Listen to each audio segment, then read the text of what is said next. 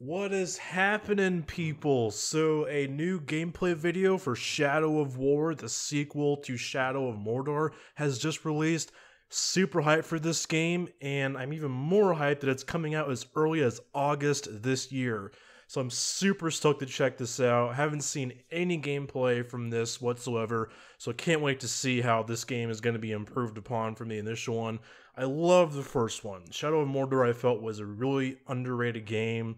I absolutely loved, and I could not put it down as soon as I started playing it.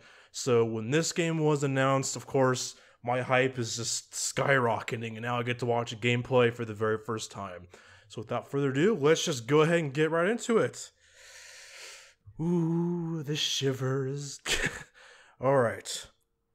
So playing in three, two, one.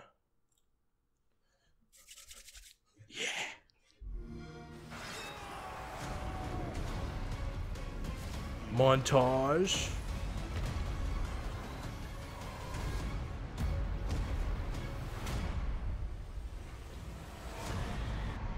Fuck yes! Dragons? Fuck yes! An epic third-person open-world action RPG and the sequel to the award-winning Shadow of Mordor. This walkthrough takes place many hours into the game, where we will show you one example of the epic personal stories created through the next generation of the revolutionary Nemesis system. Oh, yeah. To save Middle-earth, we will be journeying deep behind enemy lines and using the new Ring of Power to forge nice. an army and conquer Mordor from within. On the world map, we see the many regions we can conquer. Every one of these regions is a distinct environment with unique enemies and allies, including overlords, war chiefs, captains, followers, fortresses, strongholds, missions, and more.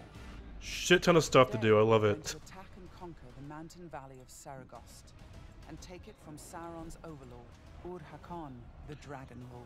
That guy looks like he's seen some shit. Let's launch the assault.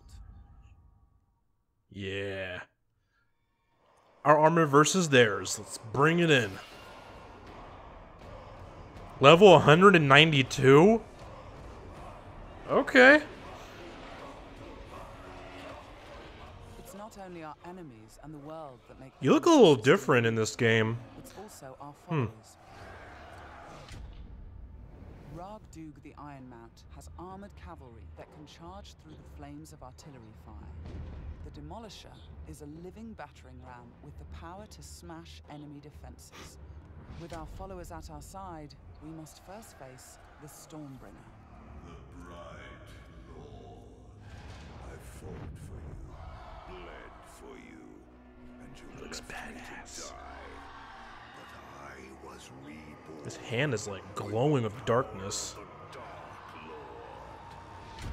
He has a history and personal grudge against us. He used to be part of our army before he betrayed us and joined the Dark Lord. He also carries a dark cool. curse which prevents us from using the power of the new ring. Come, charge into the flames of your reckoning. Badass sword too. What the fuck is that?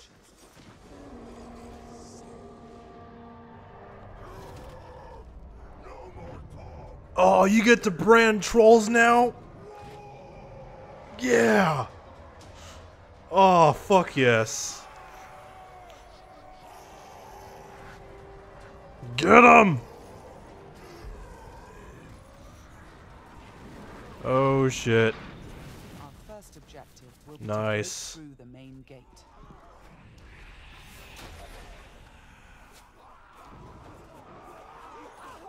Man, look at all this shit going on. Oh, crap. that was close. Just look at all this mayhem happening. Damn. Destroy the gate! Parkour looks improved a little bit.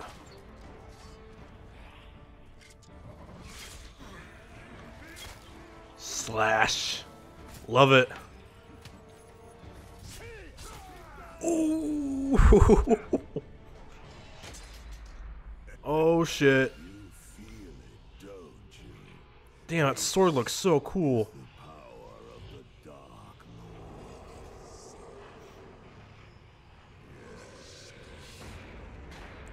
Kick his ass. Nice. Mm. Yeah. Kick him off the edge. Oh! Suffer me now! Damn! Ooh! Kick him off! Ooh, dude, that's so cool. Broken the curse and can unleash Holy shit. as the Demolisher breaches the gate, allowing our army to storm the fort.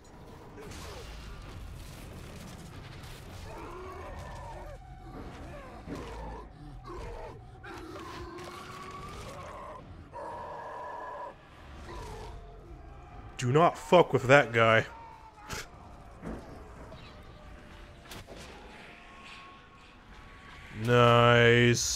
Do it. Woo! Explosions! what was that? It was like multiplied himself? How the fuck?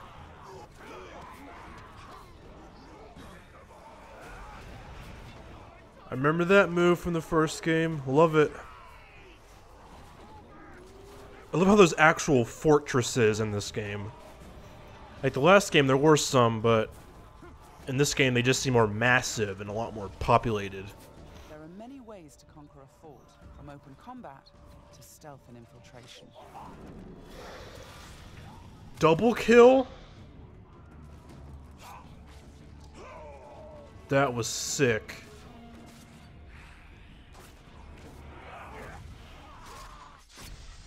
Did he just bring that enemy over to me like fucking Scorpion? Come over here! Deadeye has placed explosives, allowing us to sabotage the wall and outflank the defenders. Michael Bay presents another explosion. Wall breached. Loving it so far. I'm already sold. I just want to see what else they have to offer. Oh, he's back! What? Oh no, that's a different guy. Okay. My bad. They look pretty similar because they had the hood on.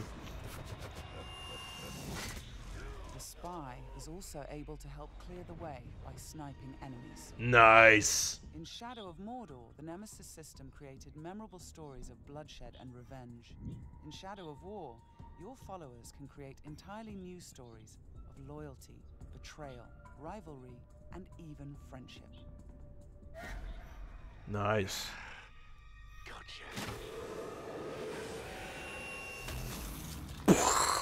Thanks, Deadeye. It's like Sniper Elite. We've expanded the RPG systems in Shadow of War enormously. Good to hear. Stormbringer allows us to collect this epic armor of Rohan and equip it. Very nice. Yeah, because the first game didn't have that many options for armor customization. So I really like that.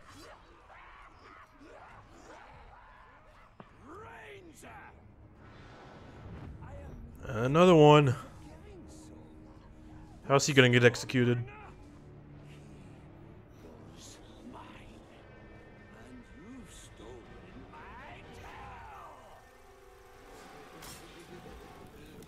Oh, and they're on fire. You know he means business.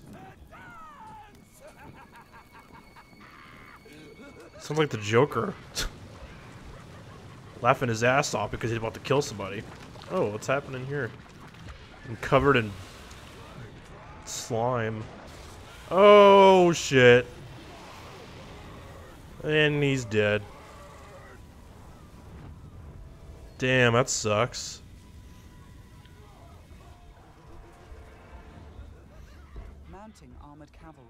Allows us to ride through these flames unharmed. Nice. Nice jump there. Woo! dragon! Yeah! If we can brand the dragons, I'm gonna lose my shit. What? Drake lets us turn the Overlord's defenses against him. What? Dude!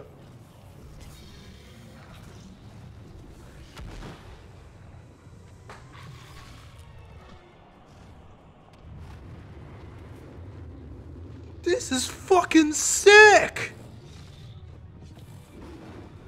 Oh shit!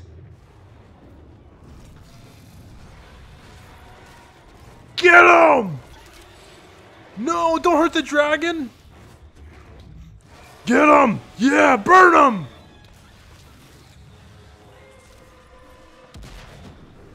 Oh. This is insane!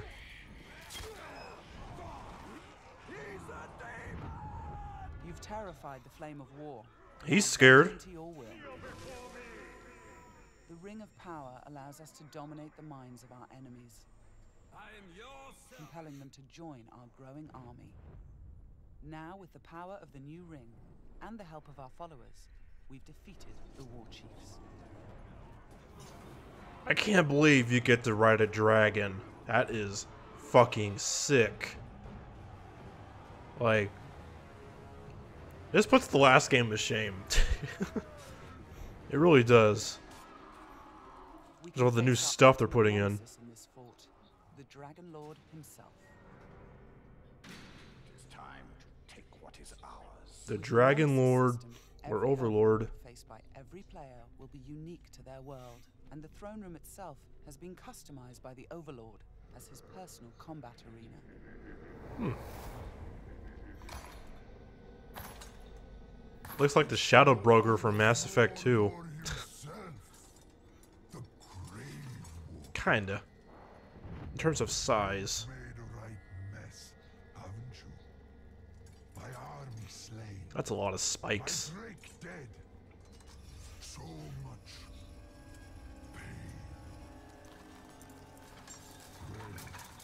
What the hell is that? I know It's like a bazooka.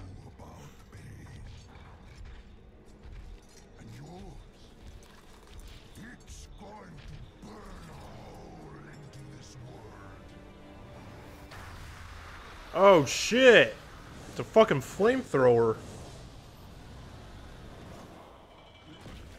Ooh, nice slide there.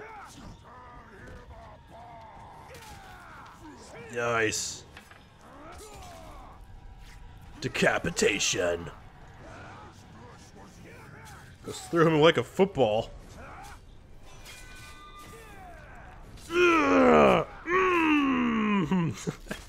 Love it. Oh shit. Look out for that. Just chop that guy in like three pieces. It's not a true boss fight without his minions coming at you. Mm.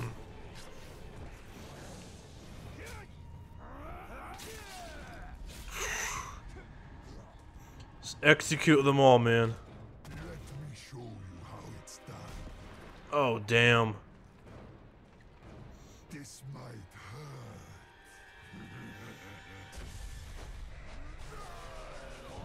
What? Oh! He's gonna get eaten! Or not.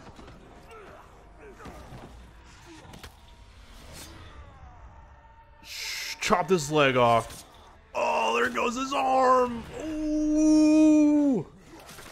Enough for his head!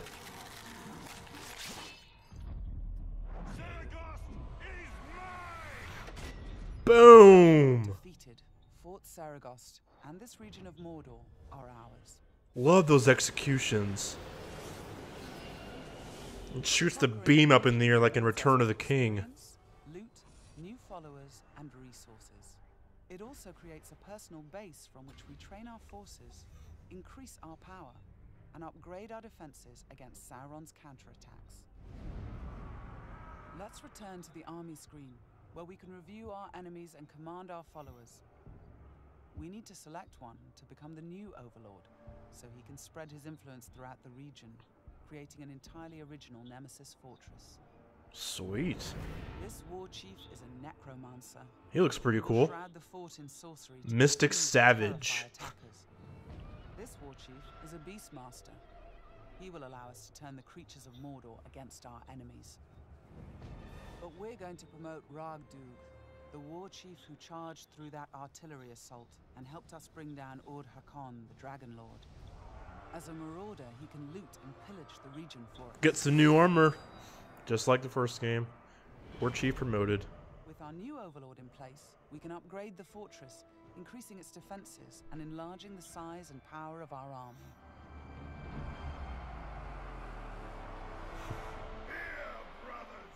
The Nemesis system means that every element of this mission was dynamic and unique. No two players of the game will experience the same story. We will spread his power! This was just one step in our conquest of Mordor. One small example of the millions of unique stories players will create in Middle-earth Shadow of War. Aw, yeah.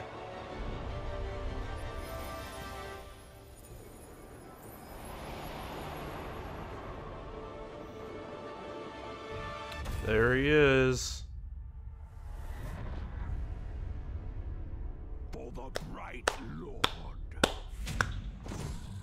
The Bright Lord. Ooh, what's this? Four legendary orc champions and an epic sword.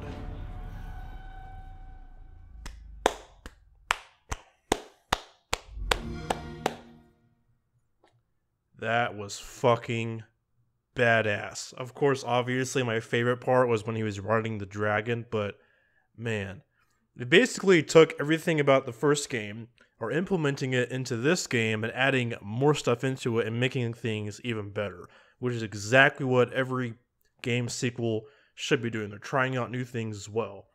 Absolutely digging this. They sold me. I'm totally going to be picking this up in August. Let me know what you guys think. I am super hyped for this. Oh man, that dragon, that fuck, I can't even talk. That dragon flying part though. Oh man, that oh so fucking sick. But let me know what you guys think. I cannot wait for this game. If you guys enjoy my reaction, be sure to hit that like button. If you want to see more, be sure to subscribe. And I'll see you guys later. I need to go fly on a dragon. Bye bye.